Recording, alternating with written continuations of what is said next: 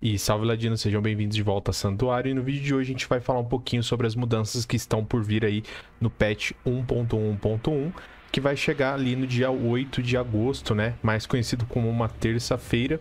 Já o patch notes completo vai estar disponível no dia 2 para que vocês possam conferir tudo na íntegra. Eu vou passar aqui com vocês exatamente pelas mudanças ali mais relevantes que vão ocorrer nesse patch, né? E falar um pouquinho também do balanceamento que está acontecendo nesse patch, né? Tornando aí muitas builds do mago viáveis novamente. Também muita coisa mudou no bárbaro. Tivemos mudanças também nas demais classes, mas essas duas tiveram muitas mudanças significativas e a gente vai falar sobre isso também nesse vídeo. Então, bora lá. Então, pessoal, rolou aqui no dia 28 de julho, né, a data que eu tô gravando esse vídeo, inclusive, o Campfire Chat, que tratou desses assuntos, né? Então, inicialmente aqui, o que, que a gente tem? Melhoria de qualidade de vida. Alguns afixos das masmorras pesadelo serão removidos da, da pool, né? Incluindo o Resource Drain, que é aquele que drena nossos recursos. O Gelo Encantado, né? Que os bichos ficam todos ali com congelamento, que é bem chato. E o Backstabber, que é aquele que os bichos dão é, muito dano quando acertam a gente pelas costas, tá? O teleporte para você sair da masmorra, acredito que seja esse, né? Teleport Time Dungeon, vai ser reduzido de volta, né? O tempo de cast dele para 3 segundos. Eles tinham aumentado isso para 5 segundos, estão voltando para 3 segundos de novo. É, a gente tem uma nova aba no baú disponível para compra com gold, né? Então vai melhorar um pouquinho mais o nosso gerenciamento, que é bem legal. O custo de respec vai ser reduzido para 40%, que é bem legal também, se você quiser mudar a sua build, não ter tanto gasto para dar esse respec, né? O stack de Elixir agora foi aumentado para 99, né? Graças a, ao Painários, agora a gente vai poder estacar até 99 Elixir, o que vai ajudar bastante no gerenciamento também, né? Sobre drop rate, a gente teve algumas mudanças também, pessoal. A gente teve aqui é, os bosses de dungeon vão garantir um drop lendário no nível 35 mais. Então todo boss de dungeon vai dropar no mínimo um item lendário acima do, do level 35. Eventos da Legião também vão te garantir um drop de lendário, que é bem legal. O açougueiro também. Então vários drops garantidos aí de lendário vai facilitar muito o nosso farm. Isso aqui vai ser bem legal mesmo. Já no nível 35 também, os goblins agora vão, é, vão ter, né? Ah não, atualmente tem 50% de chance de dropar um lendário e agora essa chance vai ser aumentada para 100% acima do nível 15, né? Então, logo ali no nível 15, mais você já vai estar tá dropando um lendário garantido do Goblin do Tesouro. É, vale lembrar que, assim, na minha opinião, ele estava bem meme mesmo. A gente não. Eu matei diversos goblins durante é, ali a gameplay no início, quando o jogo saiu, e também na temporada. E às vezes eu não dropava nem item raro, né? Então, ainda bem que eles estão mexendo nisso. Outra mudança bem relevante também, pessoal, vai ser aqui na parte da densidade de monstros, né? Então, eles até divulgaram um mapa aqui de como era e como vai ficar. Então, vocês podem ver que existiam aqui alguns corredores, alguns pontos nas masmorras é, pesadelo que você andava sem, sem ter nenhum inimigo, né? E se a gente comparar aqui com esse mapa é, que seria como vai ficar, você pode ver que está muito mais preenchido a densidade de mobs, vai aumentar muito mais, tá? Inclusive, eles disseram aqui que nos Hell Tides, né? Então, lá nas, maré inferna nas marés infernais, isso também vai ser aplicado. Bem bacana também. Agora a gente entra um pouquinho na parte do balanceamento, que seria a parte polêmica, a... onde tem a maior parte das mudanças aí também, né? Referente aos personagens. No caso aqui do Sorcerer, a gente vai ver aqui no detalhe. Então, iniciando aqui o Firebolt, né? Que seria o ataque básico lá. Agora ele gera 2 de mana ao hitar um inimigo. Antes você tinha que acertar um inimigo que estivesse é, sob efeito de fogo, né? Tivesse pegando fogo ali com o burn para você restaurar. Agora só o fato de você acertar ele, você já vai restaurar mais, né?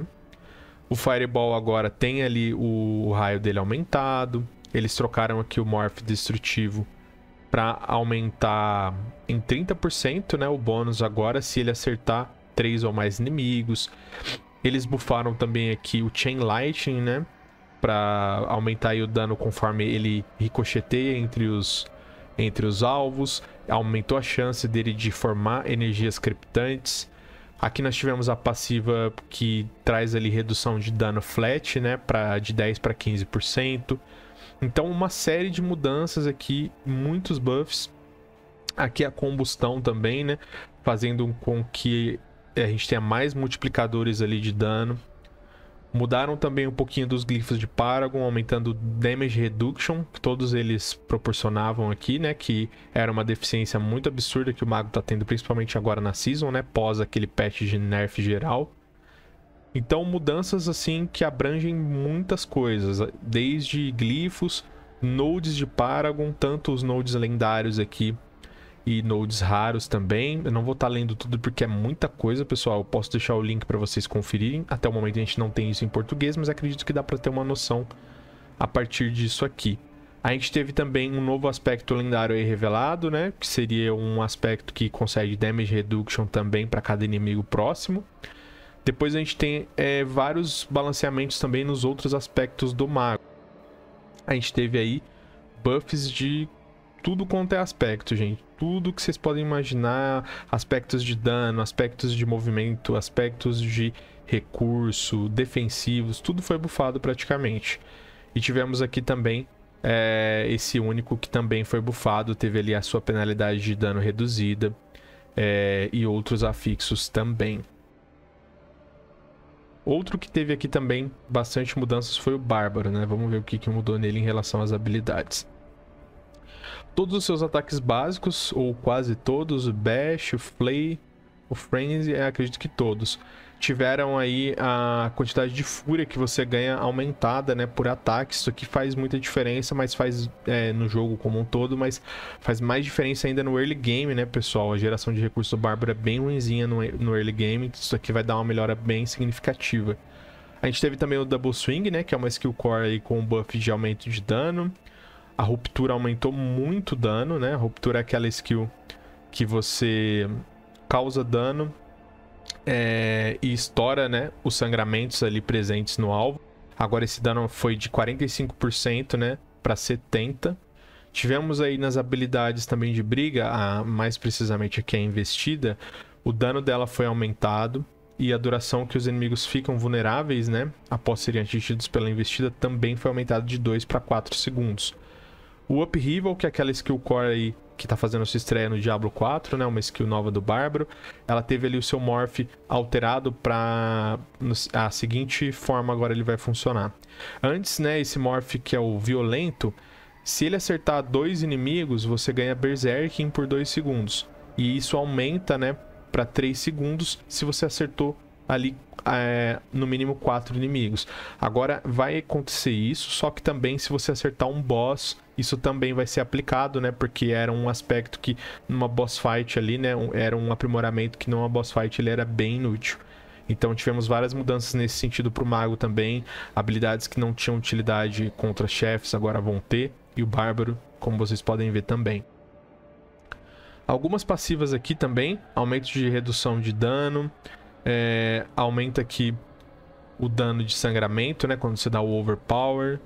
A gente teve também aqui o Unconstrained, que o dano de Berserking foi aumentado também de 25% para 35%.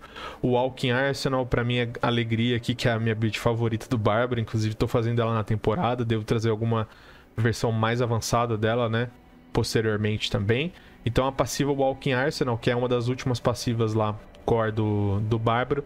Agora teve o dano, o bônus de dano, né? A duração que você recebe o bônus aumentada de 6 para 8 segundos, o que é muito bacana.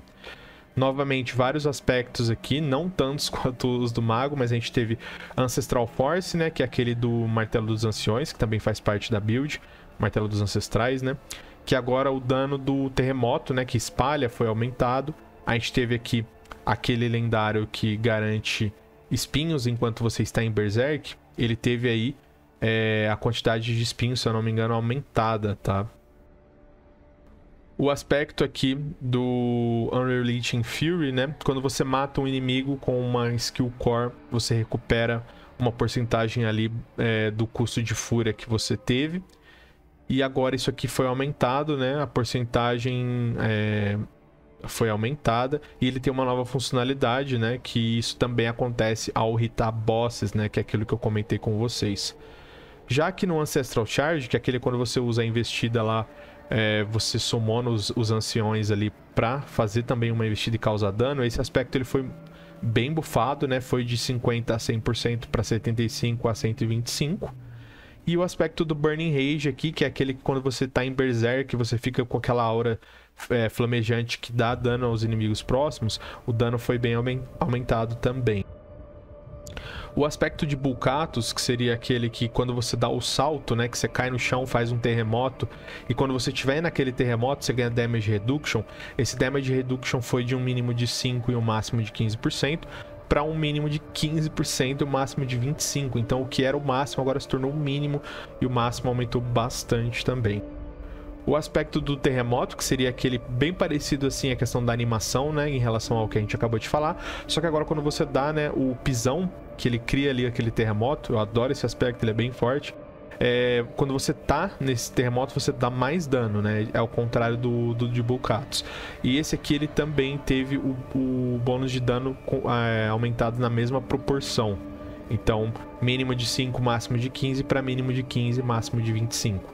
A gente teve aqui também agora cinco dos únicos aqui do Bárbaro tiveram muitas mudanças, aumento de dano e alteração de afixos, pessoal. Pessoal, a comunidade no modo geral estava reclamando muito, né, que é, tinham itens únicos com habilidades únicas muito boas, porém afixos bem zoados. Então eles estão mexendo nisso. Por exemplo, aqui o Ramadini Magnum Opus, ele tinha um afixo de é, aumentar o dano físico causado, agora ele foi alterado para dano vulnerável, que é muito mais útil.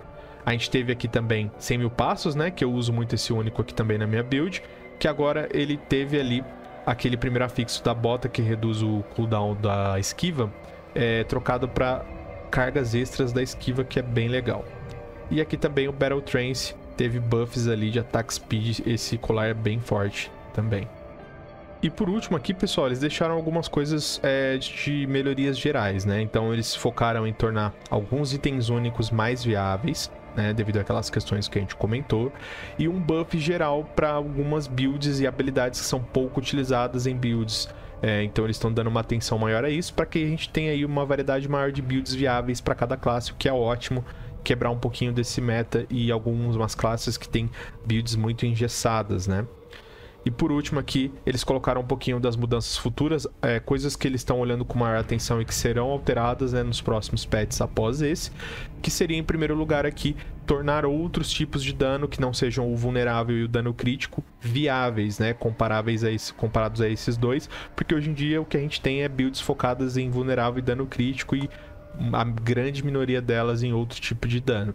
Aumentar também a efetividade das ultimates no late game, né? Porque tem muita build que nem usa ultimate, inclusive. As resistências vão ser ajustadas para serem mais efetivas. Isso aqui também precisa ser dado uma atenção maior. Eu vejo a galera reclamando bastante, né? Referente às resistências. Às vezes está tomando um hit kill ali para um tipo de dano que não deveria, né? Enfim. Agora sobre a montaria, bastante coisa vai mudar e precisa. Isso aqui já demorou muito para ser alterado, inclusive, né, pessoal? Que seria alterar um pouquinho o movimento da montaria, deixar mais fluido. A gente vai ter também aqui o charging, né, que seria o dash da montaria, vai ser melhorado. A colisão vai ser arrumada, né? Tem hora que você colide com umas coisas que não tem nada a ver. E as barricadas, que ninguém pediu por elas, todo mundo odeia elas, vão mudar. Espero que seja uma mudança relevante. E por último aqui o Overpower, né, que seria o golpe brutal, é um status que vai ser melhorado para que ele tenha um impacto maior no endgame, né, pessoal? Para que ele signifique mais alguma coisa além de só funcionar numa build do Bárbaro do Druid, uma coisa ou outra assim, entendeu? Então eles vão retrabalhar um pouquinho melhor esse status. Então por hoje seria isso, pessoal. Espero que vocês tenham curtido e sejam tão ansiosos quanto eu, né, para estar tá experienciando aí essas alterações, principalmente no Bárbaro, que é a classe que eu tô jogando na temporada. Então, é, a minha build foi praticamente inteira bufada, então estou muito ansioso por esse patch. Deixem nos comentários aí pra gente o que vocês esperam do jogo, do patch e também é, dos próximos conteúdos que a gente pode estar tá vendo chegar no Diablo 4. Então, agradeço demais a audiência de vocês. Um abraço a todos e falou!